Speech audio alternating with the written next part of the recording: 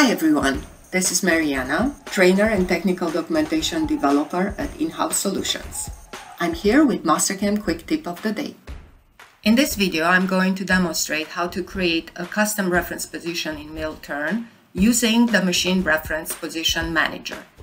A reference position is a predefined machine position stored in Mastercam with a unique name. Custom reference positions can be created in the part file and they can also be added in the machine definition.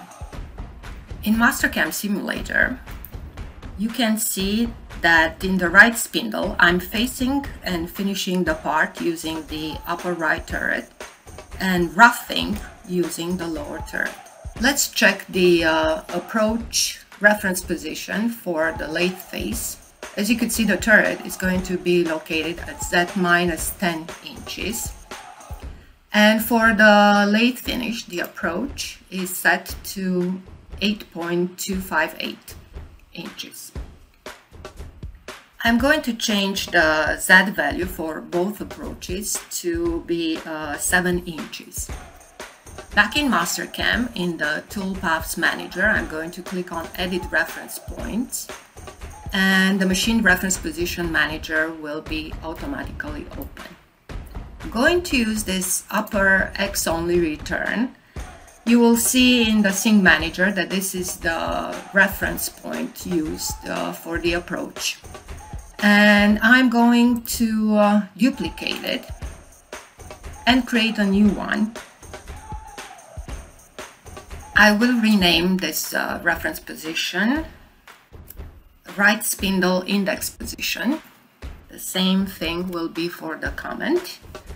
And as far as type goes, I'm just going to use reference. Axis combination is the upper right. And for z-axis, I'm going to use offset from home position and just enter the value, 7 inches. Okay for now. I'm launching Sync Manager.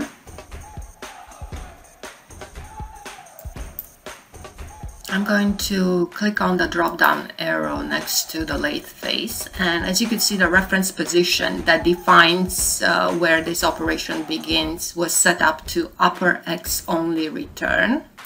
I'm going to change it to the right spindle index position and I'll do the same thing for the lathe face right spindle index position. We'll save the changes and then you can relaunch uh, Mastercam Simulator. In uh, Mastercam Simulator, you can scroll down and find the lathe face approach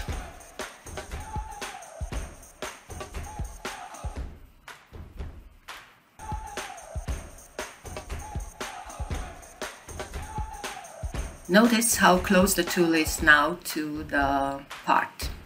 This concludes the quick tip of the day. Thank you for watching.